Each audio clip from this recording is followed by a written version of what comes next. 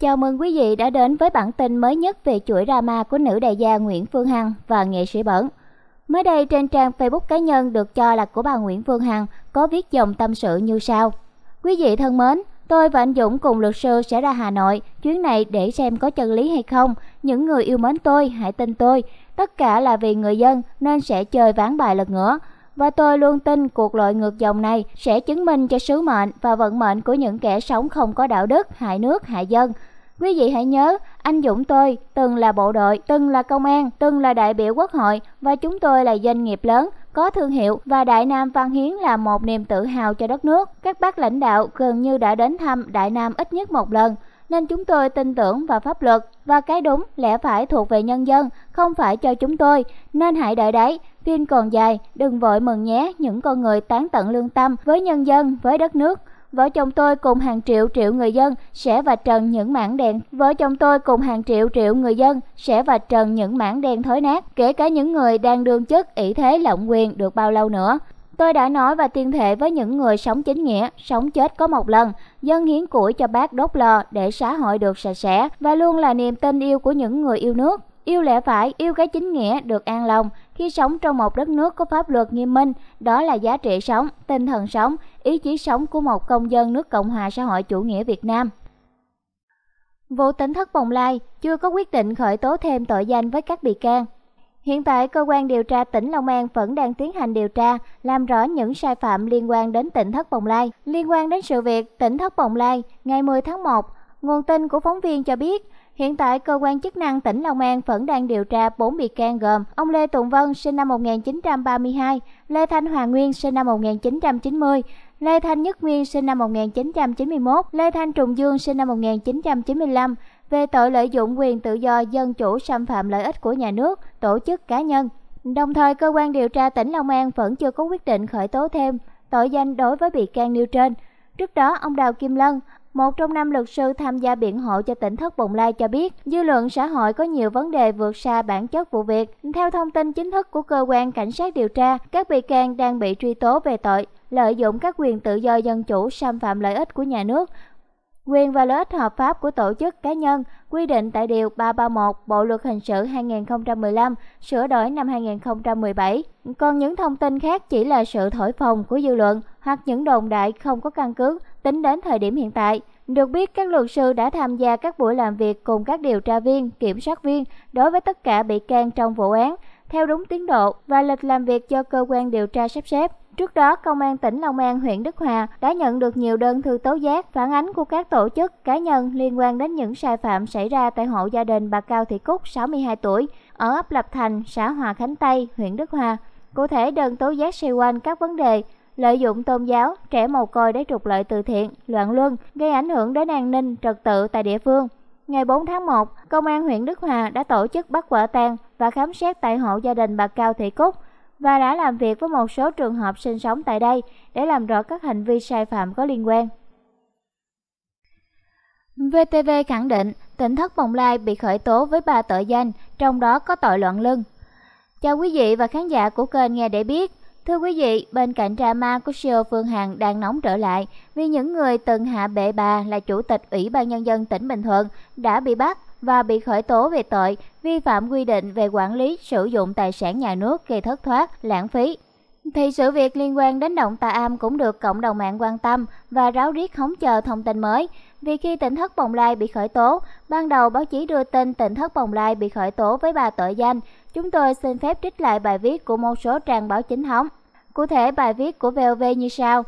Tỉnh thất Bồng Lai và Thiền Am bên bờ vũ trụ đã gây hiểu nhầm và ngộ nhận tên cơ sở Phật giáo, khiến người dân và cộng đồng Phật giáo rất bức xúc. Nơi đây cũng đã lợi dụng danh nghĩa nuôi trẻ mồ côi để kêu gọi lòng tốt của mọi người trong và ngoài nước để giúp đỡ, trục lợi cá nhân, ảnh hưởng đến an ninh trật tự. Đặc biệt, nhóm người tại tỉnh Thất Bồng Lai đã sử dụng nhiều tài khoản cá nhân khác nhau, đăng nhiều video với nội dung không đúng sự thật về diễn biến vụ việc xảy ra tại đây, với kết quả giám định ADN mà cơ quan điều tra đang có được thì sự việc khởi tố bị can đối với ông Lê Tùng Vân, tội lừa đảo, chiếm đoạt tài sản, tội lợi dụng quyền tự do dân chủ, xâm phạm lợi ích của tổ chức, cá nhân và tội loạn luân là có cơ sở.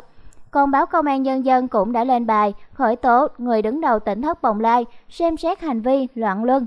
Ông Lê Tùng Vân, người đứng đầu tỉnh Thất Bồng Lai bị khởi tố xem xét ba tội danh gồm tội lừa đảo chiếm đoạt tài sản, tội lợi dụng quyền tự do dân chủ xâm phạm lợi ích tổ chức, cá nhân và tội loạn luân. Sau khi khởi tố vụ án, đưa một số người liên quan ở tỉnh Thất Bồng Lai hay còn gọi là Thiền Am bên bờ vũ trụ về trụ sở, củng cố chứng cứ, xác định các tội danh. Ngày 5 tháng 1, cơ quan cảnh sát điều tra Công an tỉnh Long An cho biết đang xem xét ba tội danh đối với ông Lê Tùng Vân, sinh năm 1932, ngụ quận 6, thành phố Hồ Chí Minh, người đứng đầu tỉnh Thất Bồng Lai, tọa lạc ở ấp Lập Thành, xã Hòa Khánh Tây, huyện Đức Hòa, tỉnh Long An. Khi cập nhật những thông tin mới nhất liên quan đến vụ án này, một số báo chính thống đưa tin vụ tỉnh Thất Bồng Lai chưa có quyết định khởi tố thêm tội danh với các bị can, tức là chỉ đang điều tra về tội 331 lợi dụng quyền tự do dân chủ xâm phạm lợi ích của nhà nước, tổ chức cá nhân. Bài báo này khẳng định hai tội còn lại là lợi dụng chiếm đoạt tài sản và tội loạn luân. Hiện cơ quan điều tra tỉnh Long An vẫn chưa có quyết định khởi tố thêm về tội danh đối với bị can nêu trên.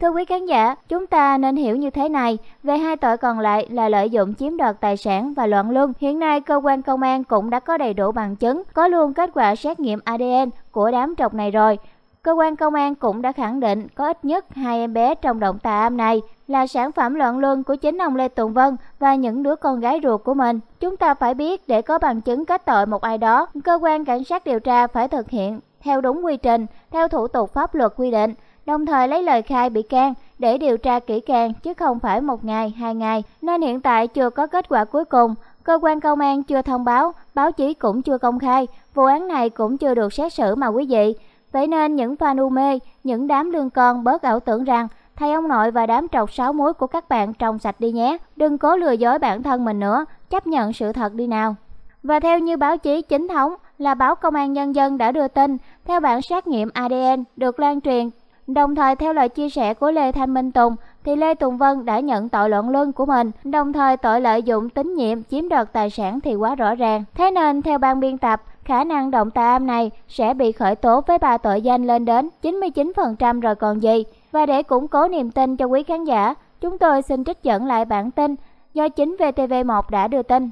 Sau khi khởi tố vụ án liên quan đến các sai phạm của tỉnh Thất Bồng Lai, sau này đổi tên thành Tà Am bên bờ vũ trụ, cơ quan cảnh sát điều tra công an tỉnh Long An đã khởi tố Lê Tùng Vân, sinh năm 1932 về ba tội danh gồm lừa đảo chiếm đoạt tài sản, lợi dụng quyền tự do dân chủ xâm phạm lợi ích hợp pháp của tổ chức, cá nhân và tội loạn luân. Kết quả điều tra bước đầu xác định kết quả xét nghiệm ADN của Lê Tùng Vân trùng khớp với kết quả xét nghiệm ADN của một số trẻ được nuôi dưỡng trong tỉnh Thất Bồng Lai, nơi có mẹ của các bé ở cùng. Như vậy, tỉnh Thất Bồng Lai đừng hòng mà lên mạng kêu an hay hổ báo kêu gọi fan bảo vệ cái sai thói nát của mình nữa nhé. Giờ đây tội trạng đã rõ rành rành. Dạo gần đây khi đăng clip, đám trọc này cũng đâu có thái độ mạnh miệng, kêu an gì nữa đâu. Ai nấy đều cúi gằm mặt chứ đâu dám lên tiếng. Do mọi thủ đoạn đã bị lột trần trụi nên cũng phải đành mặt dày lên làm clip kiếm view kiếm tiền thôi.